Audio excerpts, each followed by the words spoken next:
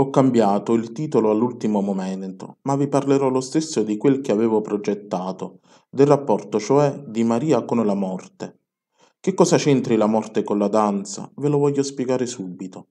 Mi sono messo a leggere in questi giorni un libro sulla Madonna, scritto da una nota docente di antropologia, e sono riuscito ad andare avanti, quasi fino al termine, senza turbarmi granché quando, proprio nelle ultimissime pagine, ho colto una frase che mi è sembrata pesante come un'ingiuria. Maria non potrà mai danzare.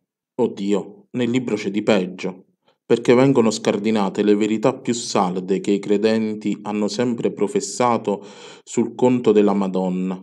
Però, mentre non mi ha scandalizzato più che tanto il sorriso di sufficienza sul suo immacolato concepimento o sulla sua virginale maternità, mi ha dato invece un fastidio incredibile l'insinuazione che lei non sapesse danzare. Mi è parso, insomma, un enorme sacrilegio, un oltraggio alla sua umanità, un delitto contro ciò che ce la rende più cara, l'irresistibile dolcezza comune alle figlie di Eva. Che cosa si nasconde infatti sotto questa frase se non l'affermazione che Maria non ha avuto un corpo come le altre donne e che la sua era una femminilità, per modo di dire, o comunque così disincarnata ed evanescente da renderle impossibile il prolungarsi gestuale nel vortice della danza?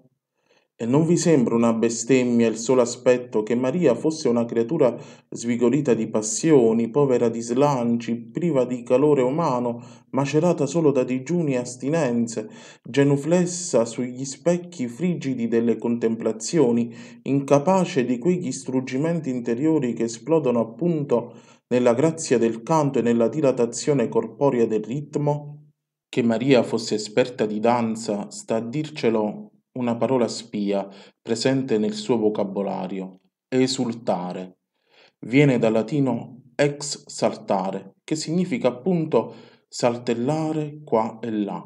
Sicché quando lei esclama il mio spirito esulta in Dio mio Salvatore, non solo tradisce la sua straordinaria competenza musicale, ma ci fa sospettare che il Magnificat deve averlo cantato danzando Qualcuno forse si chiederà perché mai mi sia tanto ostinato a sottolineare questa particolare attitudine artistica di Maria. La risposta è semplice. Non può sostenere la morte chi non sa sostenere la danza. Dire perciò che Maria non potrà mai danzare significa ritenerla estranea a ciò che morte e danza hanno in comune, l'affanno del respiro, lo spasimo dell'agonia, la contrazione dolorosa del corpo. Significa svuotare di valore salvifico la sofferenza della Madonna e ridurre il mistero dell'addolorata, nonostante le sette spade confitte nel cuore, a uno spettacolo appariscente allestito da Dio per funzionali ragioni scenografiche, significa considerarla partner impassibile di un altro esperto, pure lui di danza, che però Isaia chiama uomo dei dolori, che ben conosce il patire.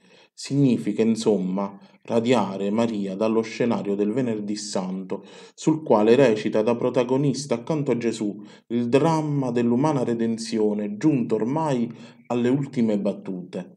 Santa Maria, donna che ben conosci la danza, ma anche donna che ben conosci il patire, intenta già sotto la croce a come trasporre nei ritmi della festa i rantoli di tuo figlio. Aiutaci a comprendere che il dolore non è l'ultima spiaggia dell'uomo, è solo il vestibolo obbligato da cui si passa per deporre i bagagli, non si danza col guardaroba in mano, noi non osiamo chiederti né il dono dell'anestesia né l'esenzione dalle tasse dell'amarezza. Ti preghiamo solo che nel momento della prova ci preservi dal pianto dei disperati.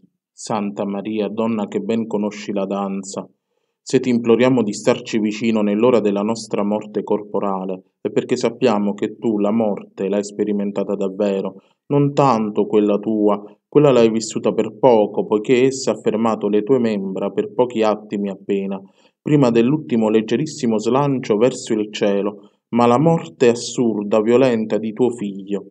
Ti supplichiamo, rinnova per noi nell'attimo supremo la tenerezza che usasti per Gesù, quando, da mezzogiorno fino alle tre del pomeriggio, si fece gran buio su tutta la terra.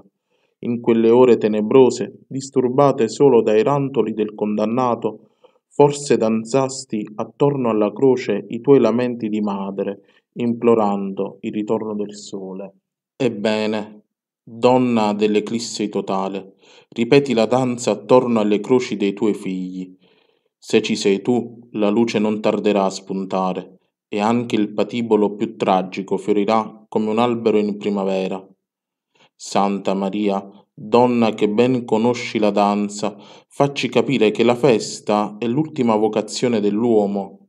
Accresci pertanto le nostre riserve di coraggio, raddoppia le nostre provviste di amore, alimentaci le lampade della speranza e fa che nelle frequenti carestie di felicità che contrassegnano i nostri giorni non smettiamo di attendere con fede colui che verrà finalmente a mutare il lamento in danza e la veste di sacco in abito di gioia.